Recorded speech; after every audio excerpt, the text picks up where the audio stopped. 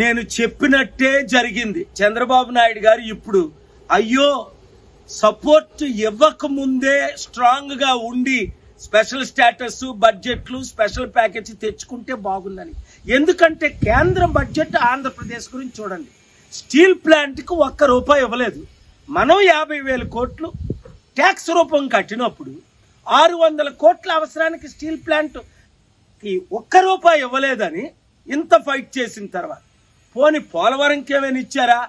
అమరావతికి ఏమైనా ఇచ్చారా? పదిహేను వేలు కోట్లు ఇస్తారట.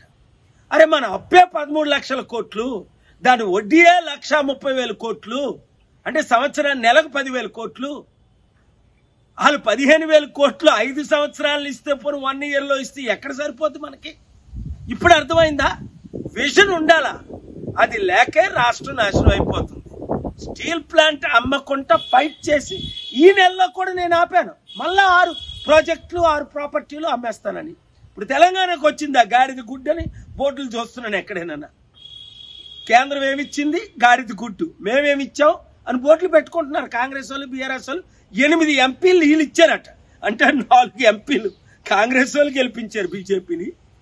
నాలుగు ఎంపీలు బీఆర్ఎస్ వాళ్ళ అండర్స్టాండింగ్తో గెలిపించారు. కొన్ని కారణాలు మీకు తెలుసు. అయితే ఎనిమిది ఎంపీలు గెలిపించిన తర్వాత ఎనిమిది గాడిద గుడ్లు ఇచ్చారు.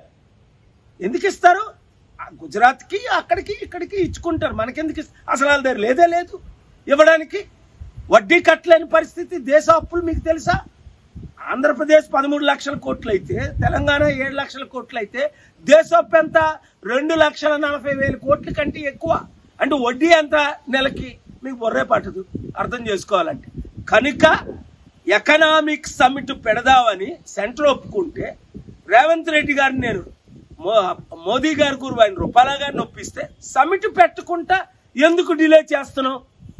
ఆదాయం పెరగాలి కంపెనీలు రావాలి నిరుద్యోగ సమస్య నిర్మూలం అవ్వాలి అభివృద్ధి జరగాలి. ఇప్పుడు తెలంగాణ బడ్జెట్ చూడండి. ఏమిచ్చారు? బడుగు బలహీన వర్గాలకు ఏమిచ్చారు? అద్భుతమైన పార్టీలు చేసుకుంటున్నారు. స్పెషల్ ఫ్లైట్లలో తిరుగుతున్నారు. వేలు కోట్లు వేస్ట్ చేస్తారు ప్రజలు సూసైడ్ చేసుకుంటున్నారు. చిత్తశుద్ధి ఉన్న మీడియా మాత్రమే ఈ వీడియోను బ్రాడ్కాస్ట్ చేస్తుంది. పిల్లలు యూత్ మీరు దీన్ని వైరల్ చేయండి. మార్పు రావాలి. ఆ మార్పు మనమే తీసుకొని రావాలి.